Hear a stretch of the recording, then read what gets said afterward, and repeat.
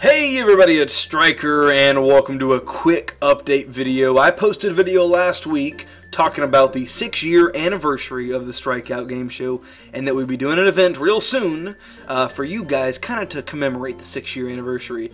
And I'm here to tell you that event is happening tomorrow at 12 p.m. CST Central Standard Time.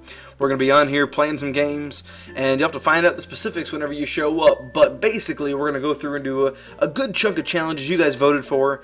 I'll tell you a hint right now, the number one challenge everybody voted for was Striker Myers. So we'll make sure we do a little bit of Striker Myers and uh, hopefully some other games as well. Um, there's, uh, I know Slapstick is on there, and there, there's a good chunk of games that uh, you guys voted for. Um, I've got a whole chart. I went through and charted everybody's votes uh, to find out which ones got the best. So um, that's coming up soon. Tomorrow, noon Central Standard Time, 12 o'clock.